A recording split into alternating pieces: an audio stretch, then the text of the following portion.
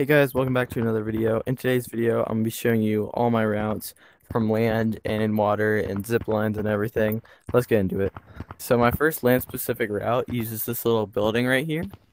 So the first one is if someone's chasing you, you can run inside here, put your arm here, and just elevator up and jump back over to here. And this is good because usually people don't expect you to start elevating on this, so they usually don't see it coming. All right, the next the next one also includes this. Basically, lava is running again. You jump this way, but a little slowly so you don't fly too far, and you just whip your arm around and come back this way. This is really good. So many monkeys just chase and they just jump off here. Even even Mr. Mr. Green wants to know about this one. Yeah, but you just jump off, whip your arm around, you can just use that to, to get away quickly. Alright, this is the third land one. Basically includes this building here. What you want to do is hit here, drop down, bring your arm here so that you come into this side. And then once you're here, you can either climb up and get back on the zip line, or you can make your way around here and get on this zip line, or you can either even just jump straight into the water and get out. All right, that's going to be it for land. Let's move on to zip lines and ropes. All right, most people use this this route here, where you grab this and you fling back. But so many people use it, they, they always see it coming. So what I like to do instead is grab it, but allow myself to fling forward by grabbing it a little early. And what this does is people usually slow down because they think you're going to do the thing where you go back but it allows you just to move ahead even quicker. All right, a second one is with this big zip line here.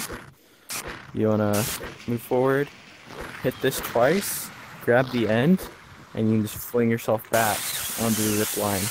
This is good if people are chasing you and they want to jump on the rope and stop you. You can just get all the way back up. Third zip line one is over here.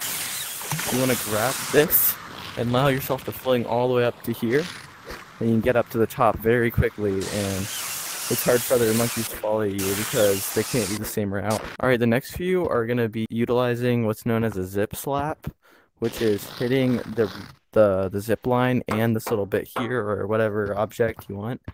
You have to hit them at about the same time. You hit the, the object first for like 0.001 second earlier allows you to do a really big jump like that. All right, the first one where it's useful is right here. If someone's chasing you, you can hit on off this right here and land right back on this big zip line. Get away. We're going up to the second one where if someone's chasing, you can instead of just jumping over them and then moving back and getting you, this one allows you to go a lot farther and get a lot more space in between. Another spot that's really good is right up here. Someone's following you, you can either hit off this side or this side. I found this side a little easier. You want to aim for that zip line right there. So you just hit off, and you can grab it. This leads us to another one. You can hit off this one here, get all the way up back here. So you can really just keep doing the zip slaps all around the map and just get away from people like that. All right, the next few are going to involve the water. Obviously, the biggest one is jumping up to top zip. I already made a video on that, so if you want to go check that out, I'll link it up at the top. But it's the best one to get away from people. One simple route as well is coming over here and jumping all the way to the top zip line right here. And this is just really for just quick getaways. It allows you to have your options open when you're in the water. Another quick and easy one is coming through this little bridge here and just boosting up to the top here and grabbing a rope. You can do this on all three of these zip lines right here and it's an easy getaway. There's also another solution if you want to get to the top zip but you're not that fast in the water and you can't uh, dive turn up very well. You can actually just water run. Comes out right here and just grab this rope and I'll just launch you straight up there. I even have a video on water running if you do want to check that out as well if you don't know how to do that. You can also do this at other spots as well. So for instance that rope or this rope over here.